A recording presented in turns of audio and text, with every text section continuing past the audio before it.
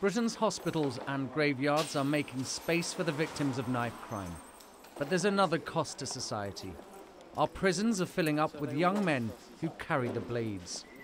I've been given rare permission to speak to three prisoners who are serving time at Aylesbury Young Offender Institute. Aaron is 20 years old.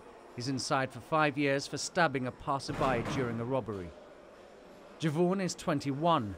He'll be behind bars for seven years for using a knife. Gavin is 21. He stabbed another boy in a knife fight and will be in prison for three years. My friends carried knives. Um, you know, I, I, just felt I just wanted to be part of it. I uh, didn't know I was I didn't know what I was going to get myself into.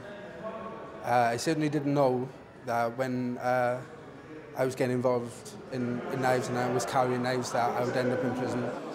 Oh, this is where you're going to end up in, in your life if you if you carry a knife, and you, you don't have to do anything with it. You get caught with that knife, you, you will end up in prison.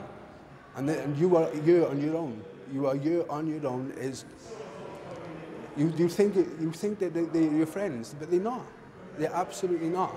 And unfortunately, it's took me a prison sentence to, you know, to figure that one out. And I guess I, that's the harsh reality of life sometimes. Uh, you know, I, have learned, I've learned from that, and hopefully when I get out of prison, you know, I, I want to show other young people, you know, that it's not all right to carry a knife. It's, it's, it is not all right. You know, if your friends are doing it, let them do it. You know, don't be part of it. Be, be, who you, be, be yourself. You know, if they don't like you for who you are, then just don't go, don't go there. Just don't go down that road because you will end up where I am, serving a very long sentence. The way I think about stuff now, and the way how I feel about how I how I affected those people's lives, in it, makes me realise when I see the news, I see bare youths dying, just like what 27 people died this year, like it's kind of crazy, man. Like don't know, all these young youths, they ain't got no role models, in it. They're just out there to do, they're out for themselves, innit? They don't care about no one. When you stab someone, you don't think it's gonna kill them, innit? You just think, yeah, I'll, I'll, stab that guy in the leg or, or, or, or just somewhere else and he's gonna be alright. He's gonna go to hospital, he's gonna survive, get me, he's gonna learn. But these days, like, just one little stab wound can end someone's life, you feel what I'm saying? Just like me, I could have got done for an attempted murder, but because it wasn't as serious as it could have been, to be honest, with you, I have to say I got away with it with a GBH, innit? Which I'm grateful and I thank God for and the judge. Boy, because I could have been riding a good 20, 30 years right now. You know what I'm saying? Like one of my codees right now is riding 20 years for, for murder in it, so it's all crazy out there, man. If I didn't come to jail, I wouldn't notice what I've done. I've, I've had a lot of time to think about where I went wrong and what I could have done better, and it's nothing but regrets, man.